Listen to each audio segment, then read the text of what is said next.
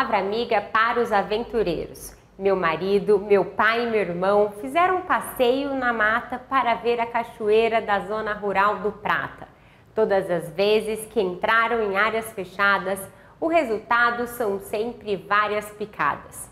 São pequenos parasitas que grudam geram coceira na pele. O caso me fez pensar no discernimento espiritual. Há inimigos invisíveis que aproveitam as ocasiões. O pecado da irritação, do nervosismo e da intolerância é muitas vezes a ausência da paciência nas relações humanas. Não se vê o inimigo ele está presente, agindo e gerando consequências em pouco tempo.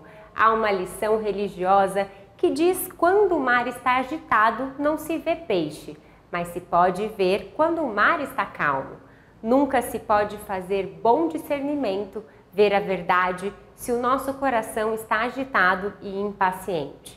Nas matas não se conseguem ver os micro-organismos atacando, ferindo, agindo contra os aventureiros. Sempre é importante estar alerta e com o coração leve para a alma não ficar com coceiras depois. Mariana Monteiro para a Rede Vida, juntos para olhar além.